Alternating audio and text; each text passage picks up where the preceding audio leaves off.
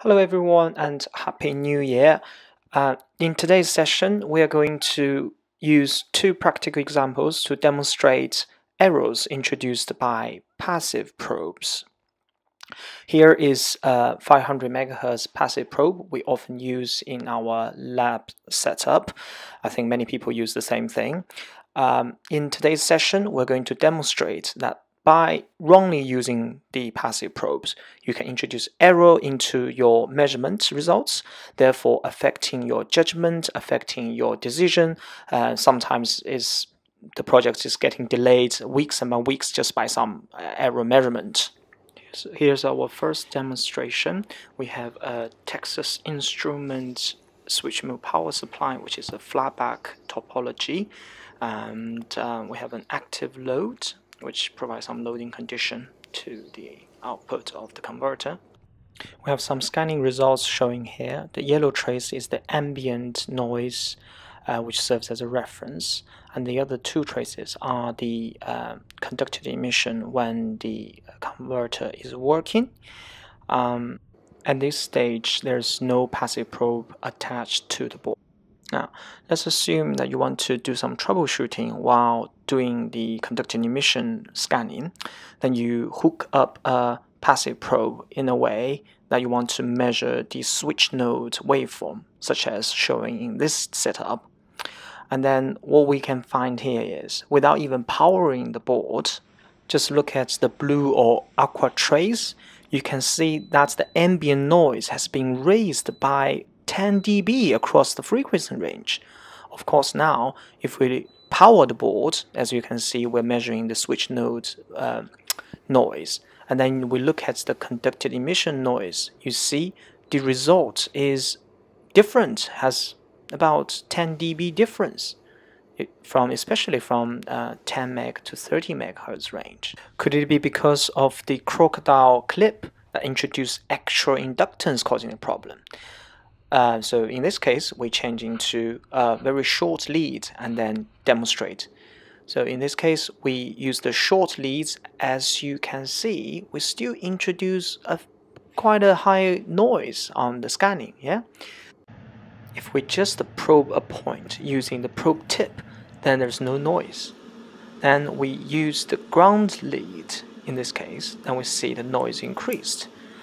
What about if we disconnect the probe? So now we disconnect the passive probe and then we probe the same point using the uh, ground lead.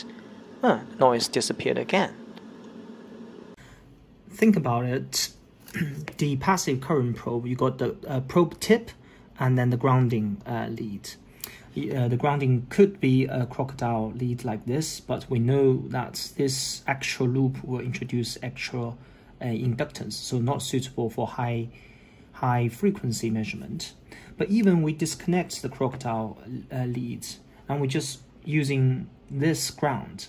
But essentially, the, the ground of the probe is connected all the way to the uh, grounding point of the oscilloscope. And the grounding point um, of the oscilloscope is actually earthed. Yeah. So um, what we just did now is when we connect the um, the ground uh, to the ground by doing that, any noise coupled through the earth connection will eventually travel through the uh, the cable leads into your circuit, and it's it is those noise that injected into the uh, the converter that is picked up by the, the LISN input. So that's that's the reason. Second demonstration.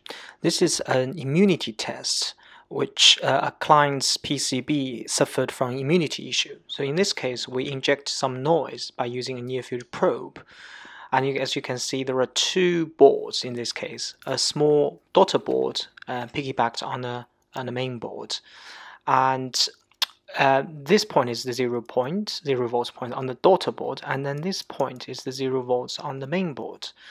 And um, we wanted to basically measure the voltage difference by probing these two points like this. In fact, this measurement will bring error as we will demonstrate here. So in this case, as you can see, I attached a uh, probe onto the two zero volts and then you can see that the output which is showing as the blue trace on the oscilloscope becomes normal again. When I lift it up, the output voltage becomes distorted again and put it back, output becomes normal again. The system on the test actually experienced immunity issues during the EMC test. So we are expecting to see the voltage distortion when we put near field probe. However, when we put the passive probe trying to diagnose the issue, uh, we simply can't see it. This is a typical, typical example that often when engineers trying to troubleshoot something using a passive probe, the problem just disappeared, which obviously affects the troubleshooting. All passive probes have its intrinsic capacitance. So in this case, the manufacturer actually list, listed the parasitic capacitance of the probe. Uh, if you have a very accurate uh, LCR bridge, you can measure the parasitic capacitance between the probe tip and the, um, the earth lead. Um, that gives you about 10 to 20 picofarad. So the test we just did, we when we shortened the um, zero volts of this small PCB and zero volts of this PCB, we essentially provided a capacitance uh, path and think about it, 10 to 20 picofarad is actually a very good path for the interference uh, noise, which in this case is about 1.5 gigahertz. So all the noise injected into this small PCB area will use this least impedance path to this zero volts. That's why when you are trying to measure the, uh, the ground by this setup, it will affect your um, immunity performance of the board, give you the wrong indication. In fact, such 500 megahertz passive probes would not be a good choice for high-speed measurement, for uh, frequency above 500 megahertz or so, uh, you would ideally need an active probe or probe with very high impedance, um, very minimum capacitance. We're talking about perhaps one picofarad or so uh, to get accurate results. Otherwise, not only can you not have a very good result, but also you will introduce error as we demonstrated in this case. Okay, thanks for watching uh, our video and see you next time.